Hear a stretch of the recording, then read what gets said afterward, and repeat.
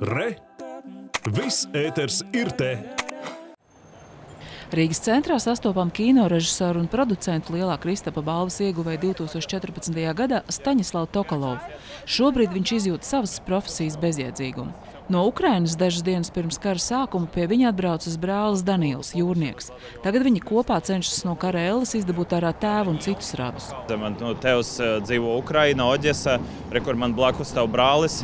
Kas dzīvo Kijavā, man ir poļu asinis, ir Baltkrievu, un mēs nu, vienkārši tiek nogalināti mūsu cilvēki šajā brīdī. Un tad man ir nu, tieši piesaistēs, tagad jūtos kā,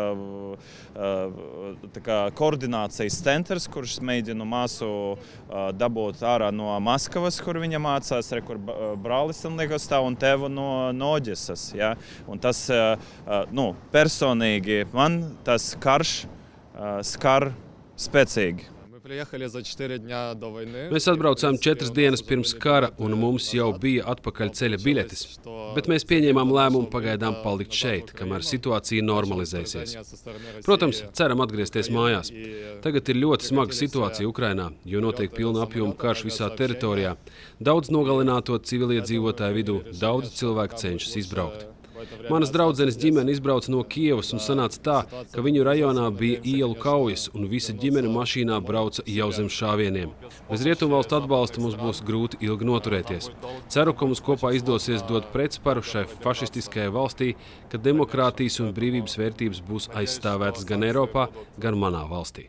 No Krievijas uz Latviju pirms dažiem gadiem pārcēlās producenti un režisori Jevgenijs Šermeņeva, kuru par uzskatu nesadarību no darba atlaidis tagadējais Krievijas kultūras ministrs. Man bieži jautā, ko darīt, kā palīdzēt. Man liekas, ka tagad pats galvenais, lai nebūtu kara. Viss pārējais būs pēc tam.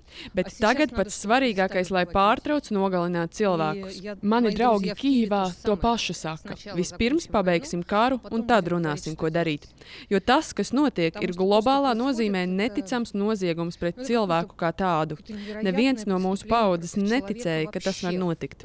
Es uzturu sakaru sakarus gan ar paziņām Ukrainā, gan draugiem Maskavā, kas katru dienu iziet protestēt un nonāk izolatorā. Tas ir absurds, jo cilvēki, kas iziet ar lozungiem nē karam, nonāk cietumā. To ir grūti aptvert. Pats svarīgākais un visgrūtākais ir tas, ka mēs saprotam, ledus plaisa paliek arvien lielāka. Un tas nav tāpēc, ka mēs esam tādi, bet tāpēc, ka Krievijas valdība ir tāda, kas sit ķīļus starp cilvēkiem. Par mieru iestājas Anita Lesīta un Rolands Veikša Latvijas televīzija.